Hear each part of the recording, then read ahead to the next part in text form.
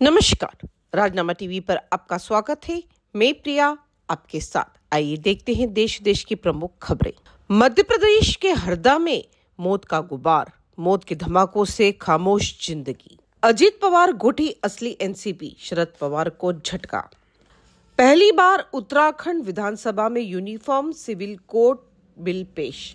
Live in का registration एक माह में ज़रूरी, वरना जेल व जुर्माना। बिना वीज़ा के ईरान जा सकेंगे भारतीय नागरिक। गूगल प्ले स्टोर से हटाए गए 2200 फर्जी लोन ऐप बजट सत्र का एक दिन बड़ा 10 फरवरी तक होगा। पेपर लीक के खिलाफ बिल लोकसभा में पास। तुर्की में कोर्ट में हमला, तीन पुलिसकर्मी घायल।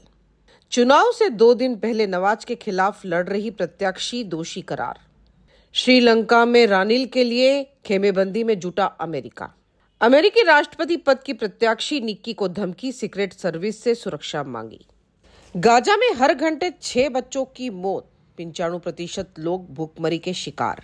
हांगकांग में एयरपोर्ट पर ट्रक से गिरे ग्राउंड वर्कर को विमान ने कुचला, मौत। यूएई में सुपर तीस के संस्थापक आनंद कुमार को यूएई का गोल्डन वीज़ा मिला। कैलिफ़ोर्निया में रिकॉर्ड 10 इंच बारिश दर्ज, तूफ़ान से भारी नुकसान, तीन लोगों की मौत।